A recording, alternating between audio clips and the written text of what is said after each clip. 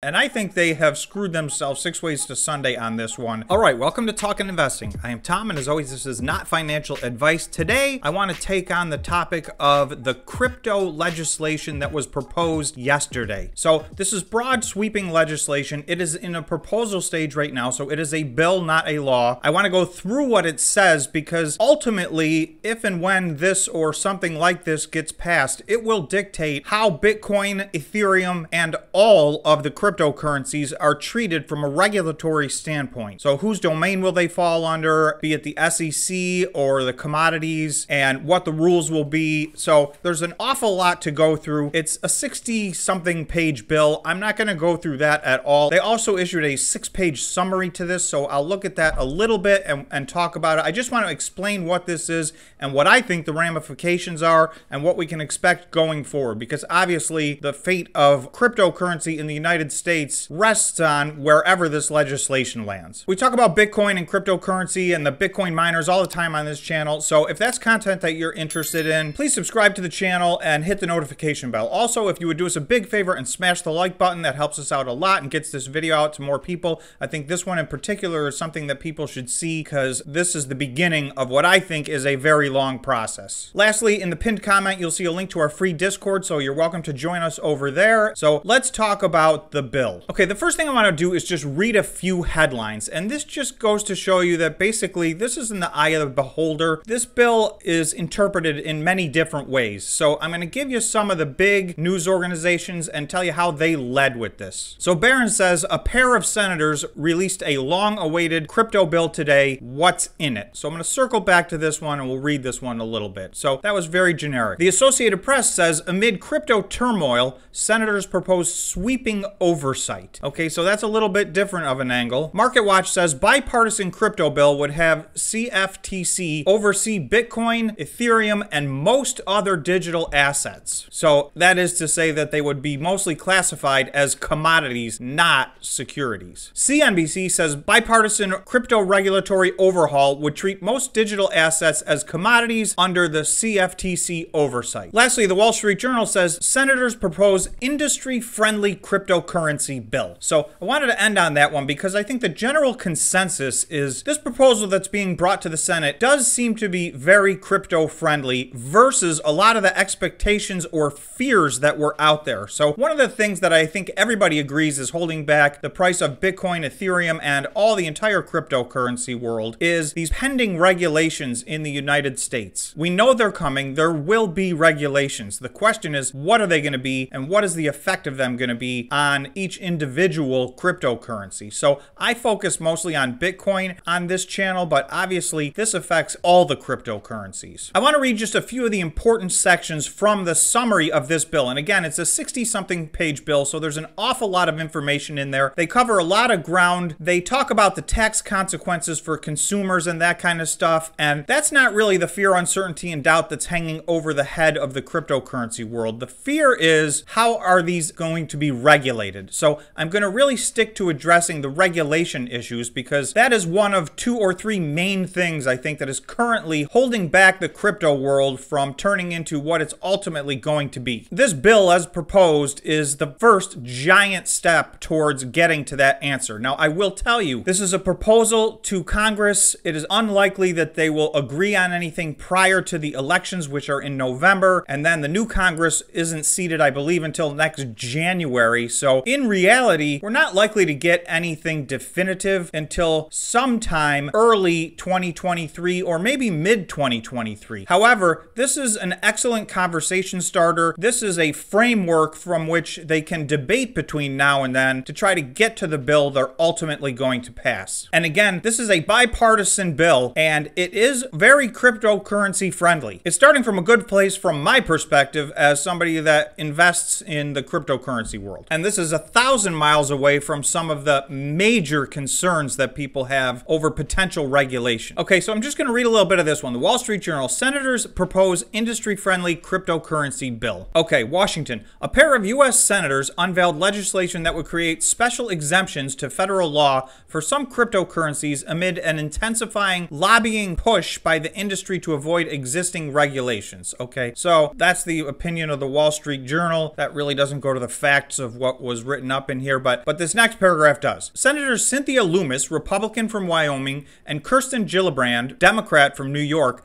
outlined a bill Tuesday dubbed the Responsible Financial Innovation Act which aims to create a complete regulatory framework for digital assets. So note this is a bipartisan bill. So ultimately, I do think it does hold a lot of weight. It's just that not much is likely to get done until we get through our elections and have our newly elected representatives sit down in late January of 2023. In a joint press release, they said that it would balance the crypto market's need for guardrails and consumer protections with a desire to promote financial innovation. Quote, as this industry continues to grow, it is critical that Congress carefully crafts legislation that promotes innovation while protecting the consumer against bad actors, Ms. Lummis said. So here they say Congress aide said this bill has little chance of advancing this year through the Senate, which is controlled by Democrats. Similar legislation introduced by crypto friendly lawmakers in the House has languished. So that doesn't mean that nothing is going to happen. This is an important bill. This is a bipartisan bill. So I do think it's going to get a very close look. Some derivative of this is going to end up being what is in the final bill. Okay, SEC Chairman Gary Gensler has said most cryptocurrency cryptocurrencies meet the definition of a security and should register with the agency. Okay, so he's been long on record on that, but I do want to take a little break to an article that just came out the other day. So this was just a few days ago. Gensler, Bitcoin may be a commodity, and then I'm going to give you his exact quote. SEC Gary Gensler has long argued that many cryptocurrencies are subject to regulation as securities, but he recently clarified that this view wouldn't apply to the best known cryptocurrency, Bitcoin. Gensler told the House Appropriations Committee last week that the SEC has has jurisdiction over probably a vast number of cryptocurrencies in circulation. And then, quote, Bitcoin, maybe that's a commodity token. That has a big market value, but that goes over there, Gensler said, referring to another regulator, the CFTC, making it a commodity. So,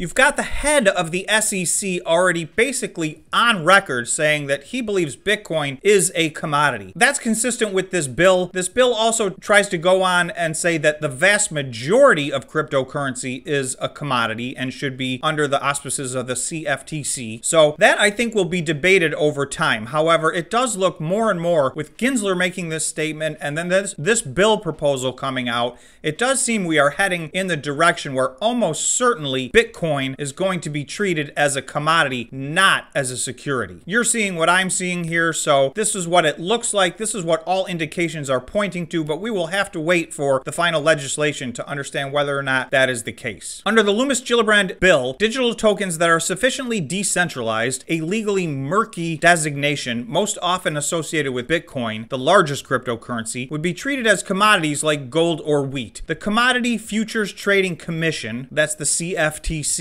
would be granted new authority to regulate so called spot markets for such assets. Currently, the agency only has power to oversee derivative markets for commodities. Okay, so this brings up a point for me. They talk about decentralized and how that's a legally murky designation. They then get into something that's even more unclear, and I want to go over to the summary of the bill to discuss that. Okay, so this is the official summary of the Lummis Gillibrand Responsible Financial Innovation Act. Section by section overview, and I'm going to skip to section 3. Section 1 is definitions, Section 2 is responsible taxation. So this goes through a lot of how the consumers will be taxed, and it's actually quite beneficial to the consumer. So this is a very consumer friendly bill as well. What I want to skip to is Title 3 Responsible Securities Innovation. For the first time, this bill makes a clear distinction between digital assets that are commodities or securities by examining the rights or powers conveyed to the consumer, bringing digital assets into the regulatory perimeter from the current vacuum. Okay, here's where things get dicey in my opinion, and I think they have screwed themselves six ways to Sunday on this one. This is going to leave open a massive, massive room for debate because this is already a massive debate. So let me tell you what I'm talking about. Lummis Gillibrand accomplishes this by codifying existing precedents under the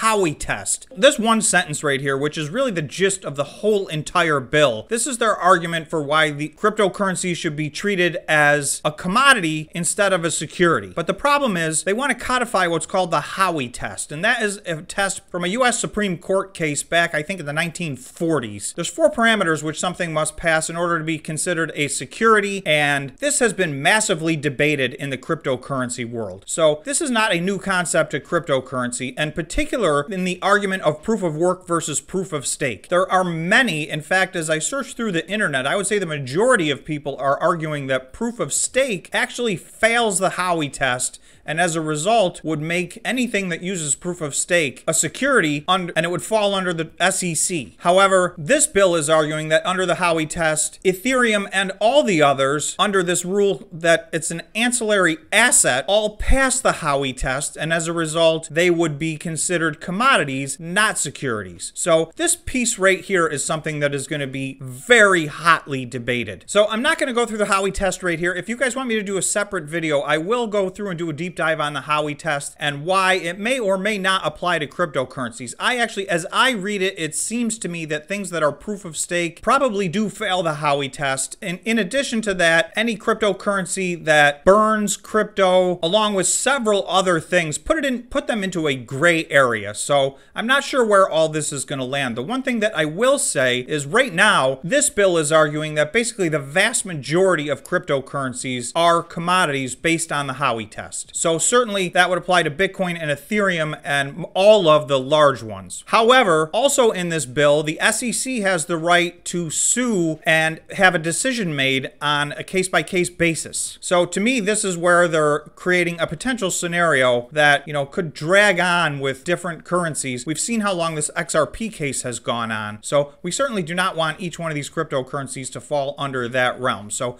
some work needs to be done here, in my opinion. Some further clarification has to happen, particularly pertaining to the very large cryptocurrencies. Now, again, I will tell you, Gary Gensler already has said on record that he believes that Bitcoin is a commodity. So he would be the last person standing in line arguing that it's a security. So if even he's not arguing that it's a security, it is highly likely that Bitcoin will not be treated as a security and it will fall under the commodities. It looks like they're making a large push to include a lot of the other major coins, such as Ethereum, as commodities as well. However, that remains to be seen. So in summary, I think we have two different situations. This is a big step forward, but we need to remember this is a bill, not a law. It's probably going to be at least a year before we get a law on this, but this does give some excellent, excellent foundation and talking points for people to start to work around to get to whatever is ultimately going to be the rule of law here. And lastly, I would reiterate that it seems to me that under any scenario, Bitcoin is almost certainly going to be considered a commodity. I think the weight of that hanging over Bitcoin's head will dissipate long before this bill is passed. So that's my quick summary. By no means is that all encompassing. Please, this is not financial advice. If you want more information on this bill, you can actually look it up and read it. It is rather long, but it's out there. Those are my thoughts on this new pending legislation. Thanks so much for watching. If you made it this far, please remember to subscribe to the channel and smash the like button. Thanks again, and we'll see you in the next video.